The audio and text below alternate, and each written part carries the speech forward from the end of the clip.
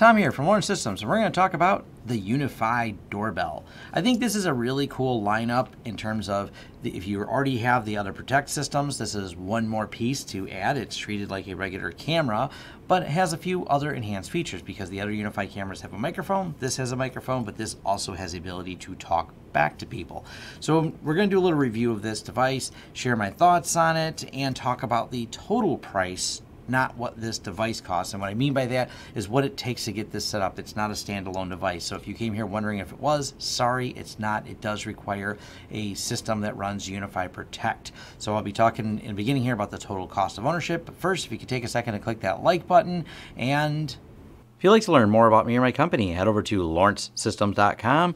If you'd like to hire a project, there's a hires button right at the top. If you'd like to help keep this channel sponsor free, and thank you to everyone who already has, there is a join button here for YouTube and a Patreon page. Your support is greatly appreciated. If you're looking for deals or discounts on products and services we offer on this channel, check out the affiliate links down below. They're in the description of all of our videos, including a link to our shirt store. We have a wide variety of shirts that we sell, and new designs come out, well, randomly, so check back frequently. And finally, our forums. Forums.lawrencesystems.com is where you can have a more in-depth discussion about this video and other tech topics you've seen on this channel. Now, back to our content. So, product costs. We do see the 199 down here and that is something I want to make sure that's read really well here because it seems to be a common question. The UniFi Protect is required to run this product with full functionality. We recommend using it with UniFi Dream Machine, UniFi Protect Network Video Recorder. We're going to be using a UniFi Network video recorder for this, but I just want to make sure that's a clear upfront prerequisite. This is not a just a 199 device. It's 199 as long as you already have the other devices that run Protect. I just want to make sure that is uh, upfront on there for people thinking this is a better price than some of the competitors out there. I don't think the price is unreasonable. I just want to make sure people understand you can't just get this. But it is IPS rated, built-in display, so you can actually chat back and forth on the display. We'll show how that works. Real-time two-way audio with echo cancellation. Yes, it does have a microphone and speaker built in.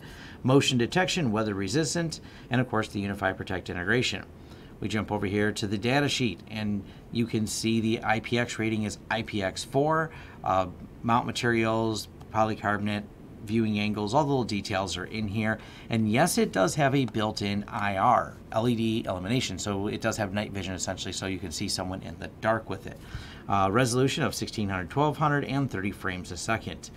And down through here we have the specs like the Wi-Fi, uh, the factory reset button. There's really not much else to it. There's pretty much, it's a basic setup. Now, the advantage right off the bat here though with UniFi Protect is going to be it stores everything locally. This is a niche Ubiquiti's kind of, you know, work themselves into of providing a device that offers local storage as opposed to cloud storage and it also means there's not a subscription fee attached to it. So when i say back to the cost besides having the protect device to store it on in the camera well that's it. You don't have to pay monthly forever for the device but you are still able to get notifications sent to your phone. You're able to have two-way communications over your phone. So when you're not at home and someone rings the doorbell, you can still have that conversation. So you still get that feature of while you're at home or while you're away, they don't know who's ever ringing the doorbell because you're able to interact with them, but now you don't have to pay a subscription fee for that service. That's, I think, the real big advantage they have over a lot of the other ones out there. Now, as far as what comes in the box, there's a, I'll show them physically, but I'll also just list it out here because I've already misplaced this little push pin here. Um, no big deal. Don't worry, you can get this off just with an ink pen. But it comes with some screws, it comes with a couple anchors, and this right here, and it has instructions how to do this, is it will not only ring your phone, but if you have a chime in your house, it has that option to actually ring the old style chime. Now, they in the instructions, they tell you cut the power off, definitely do that. Don't electrocute yourself. And here's your two different install options. One of them is just with the transformer, which is what we're going to be doing. I don't happen to have a chime, so that's this one over here. And if you do have a chime, they got this little device that you add on there, so it will ring the chime as well. Then they go through and they have the installation instructions, how to set this up. And they made these nice little connectors I'll show you when we're hooking it up that made it really easy to do uh, for plugging the wires in. So you can screw the wires right down to the screws on the back of this, but um, you can also use these little push connectors, which I chose to use because it just looks nicer and a little bit cleaner. And that's these right here as shown. is how we're going to be hooking it up. And this is, you know, all the stuff that's included in there. Now, they also have a little spirit level that comes on there, so you can level it when you're doing this. So if you're not, you know, you don't have a level handy, nice thing is that's built in. They tell you what type of drill to use, put it in, peel off the spirit level because it pops off, it's just not sticky. And it also has this thing called the wedge. And the wedge is so you can, instead of having it straight head on, it can be at a little bit of an angle because maybe that's more convenient for how you want to mount things. And then once again, they show same installation, but doing it with the little wedge essentially of putting it on there. And I like at the end, turn the power back on. That's an important thing because if you're sitting there going, why is it dead? Well, you do have to power it back on. That's a good step to leave in there. Turn on device. Now, as far as uh, setup, we are going to walk through that. I disconnected this from our network, so I'm going to walk you through how it sets up, which is actually really easy. Um, they made that part intuitive, so you don't have to be very technical to set this up. But one more prerequisite, you already have the UniFi Protect system. I just happen to have like a Cloud Key Gen 2 Plus in my hand here, but you have to have the Protect system. We'll be using the one back here, set up and configured on the same network that the Wi-Fi that this is going on is on. That's an important aspect of it because if you put this on a different network, well, you may end up with problems. So I do recommend putting it on the same network. Uh, and it's pretty easy to do. We'll walk you through the steps on how to get that going. All right, so now let's plug it in and go through the setup on this. Now, a quick note about how empowering this is we ran over to the hardware store and picked up a transformer for a doorbell. I didn't happen to have one in my building already, and this is not PoE. It is a Wi-Fi only. I wish it did have a network option. Uh, maybe a future version will, but right now, this is what we have available. So uh, let's go into the app and show you how the setup works now that we have it all powered up. Now the device is ready to be set up, and as soon as I opened up the app and connected to my NVR, it said, hey, look, I found a new device, a doorbell camera. So we're gonna go ahead and click add, select the camera, set up cameras, Connecting the camera. Locating networks. And it does this all over Bluetooth, by the way. Paste in the Wi-Fi password. And connecting to Wi-Fi. It's really straightforward on the setup. It's going to take a second here to establish, and it'll join to our network in momentarily. Setup complete. Pretty fast. Now we have the device. We can name it. We can install it with or without Chimebox. We're going to choose without. And there's me looking at the camera. Can wave to it. I can see it. Actually, I'll face it this way now. And uh, from here, we're going to actually show you how we have notifications show up on it and uh, what they look like. So you can see it by looking up close. You see the little display. We have that. Go back to the overhead. And now I can have a conversation. And we'll move this outside where we can get a better view, but it's going to start looping because now I'm talking on both. We'll actually set this back down and also show you. Stop talking and we'll press the text button here and we can say, hello YouTube.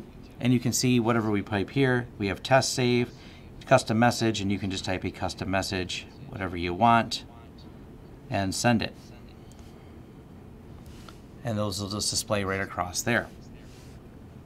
And that notification, as you notice, we'll actually swipe this down, comes across the top of my phone. So when I press this, there we go. It says there's a doorbell and lets me have a notice there. And we can swipe it back down. This comes up across the top of the phone. Pretty simple. So we're going to go ahead and stick this outside so we can get a little bit closer look. But first, let's take one more close look at the back of this uh, to show you how the hookups look. So it's really basic. It's just these two wires, like I said, they got these little push in there. And this is nice. I mean, you can run the wires direct and screw them down, but this is much cleaner the way they offer this. And the same thing with the hardware they provide, which is this device here for hooking it up to your chime if you have one. Same little push end connectors. Now just to take one quick look though at the wedge and how this actually goes on. So we have this part here. So it's going to set flat. Oh, by the way, it does have a light, which is not particularly useful in my opinion. It's not very bright. It faces down, kind of illuminate your porch. But it does have the IR inside of here, so it will illuminate with the night vision. So this is not part of you know any night vision. That's all built in right here. But the wedge is in case your door isn't necessarily right next to it. Maybe it's offset and you want it to face more towards your door. That's where it has the wedge. This is the other backing that you can use. This is one we are going to be using. We're doing a flush mount. And this is a comment I will have about it. Now, first, watch what happens when I power it down. It will do a countdown. So we're going to pop this out, shutting down. And the nice thing about this, while it's shutting down, I still have a video feed. And the reason that's important, I'm going to make evident to you. So shutting down is what happens when it goes to the power off. And uh, so we unplugged it, it's powered off, but there was, you know, about a five second countdown. And I think that's important because one thing I noticed about these cameras, I don't know how much this is an issue, and also I noticed, if you noticed in the beginning, I mentioned I don't know where the little push pin is. Don't worry, I don't need it because all you need is a Lawrence System ink pen or one of equivalent size and that little tab that snapped in here. And you can open this up. My thought, and why I don't know if this is a real problem or not, is wow, that was easy. So if this is mounted and someone wants a doorbell, uh, they can press the tiny little button in there and just remove the doorbell. But because there's a battery in there, its last few moments would be hopefully someone running and looking at it themselves. Um, they go through and now you have some type of evidence while they're running across the yard with your doorbell um, until it comes either out of Wi-Fi range or that four second countdown comes down. So I would recommend if you install one of these and you are worried about that scenario, that after you put this on wherever you're going to mount it to, that you cover this little bottom piece. So where it's mounted flush to the door, putting any little thing, it can be even some type of screw that goes underneath just to block access to that if you you know, are worried about it easily coming off. Um, I don't know how much of a concern it is but it's something I thought I'd mention anyways. All right, let's go ahead and get this hooked up outside so we can get a better view of the video and understand it a little bit deeper. All right, I have the doorbell temporarily mounted. This is arm's length away. There's cars driving around. And this video is directly from the doorbell. I'm doing it outside so you can understand the microphone, understand how it works. Maybe you hear an ambulance in the background, but it works. This is the recording audio, and let me stand about this far away, which would probably really not sound as good as if I was this close to it. And you figure people are this close to your door. And I also wanted to make sure there's plenty of ambient noise so you can see the camera, understand the ambient noise, and see just how wide angle it is when I'm standing about arm's length away. So as I said, that video was right from the doorbell, and I think you can hear people standing in front of the doorbell quite well. The microphone picks up good, even with the ambient noise and an ambulance going by. It's still pretty good quality for both the video and audio, really nice wide angle. The downside is the other person, when you're using your phone to talk back to them, if there's a lot of noise going on, it's hard to hear. Uh, and of course, we're on a main street, so there's a lot of traffic, but it's not particularly loud. So that's one downside of it. They don't have a very big speaker on there, so just keep that in mind. But of course, if you could, if you could just articulate, read the screen, and send them a message like you know, leave package at the door or whatever, I think you've pretty much reached the goal. But I'll at least comment that, yeah, it was not easy to hear when my staff was trying to talk to me over the phone. Um, getting back. So that's that's one downside I have found about this. I don't know if that can be fixed. I don't know if they can adjust that in firmware make it a little bit louder, but either way, that's the way it is. Now, inside of UniFi Protect is the last piece we're going to cover, and this is really cool.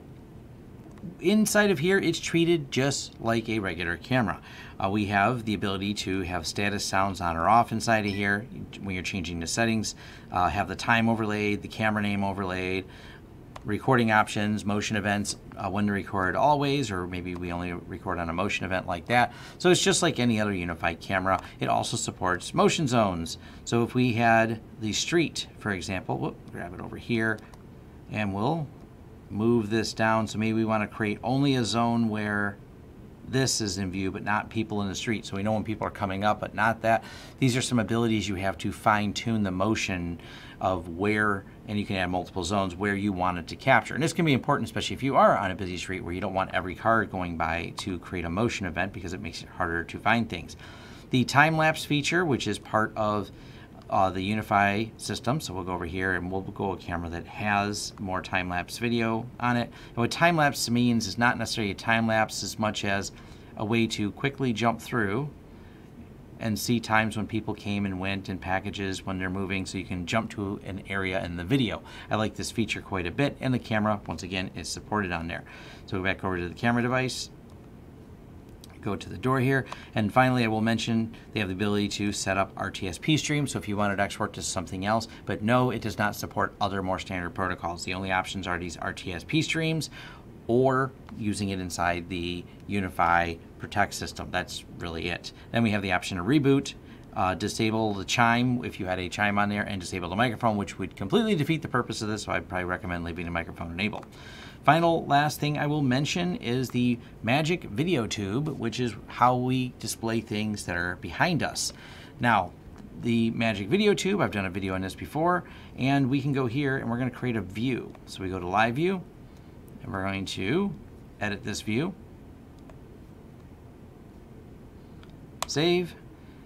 And now we have a live view that's for the doorbell cam. So that will go back over here and go back to the UFP viewport. Like I said, I got a separate review I've done of this. And then we can change it to that. And now when we look behind me, the TV that's got that hooked up is now displaying the viewport. So that's actually a nice feature because it's once again treated like any other camera on the UniFi system. I can add it to my you know constant running display of camera views so I can see who's at the door. So if you wanted to put a monitor up there, you can leave the front porch monitor along with any other UniFi cameras in your Protect system and put them all on there. So I think that's a pretty cool feature overall.